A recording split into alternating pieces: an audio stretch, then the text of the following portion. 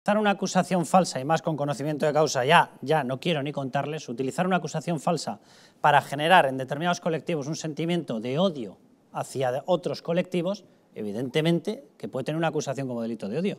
Evidentemente porque se está buscando la ira y la respuesta. Y se está buscando una marginación e incluso en ocasiones hasta un ataque. El texto que tengo detrás, Alfredo, es la última de estas fechorías, ¿vale? Ya está en el BOE, es decir, ya tiene eficacia.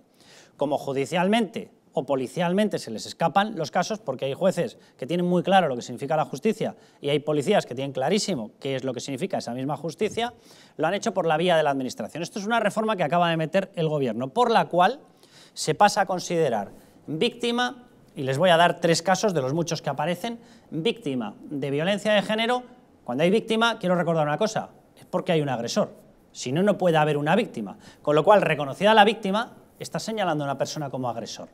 Dicen, pero no tiene relevancia penal. Ya por ahora, pero administrativa sí. Y yo quiero recordar que las medidas cautelares, cuando tú presentas una denuncia, se instauran desde el primer momento, se imponen desde el primer momento.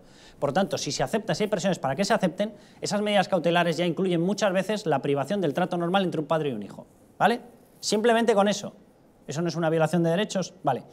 Entre las causas por las cuales se pasa a considerar ya que efectivamente administrativamente se considera una persona eh, que ha sufrido a una mujer violencia de género. Causa número uno. Víctimas, atención, que se encuentran en proceso de toma de decisión de la denuncia. Perdón, perdón, no se ha presentado la denuncia. Voy a repetir la frase.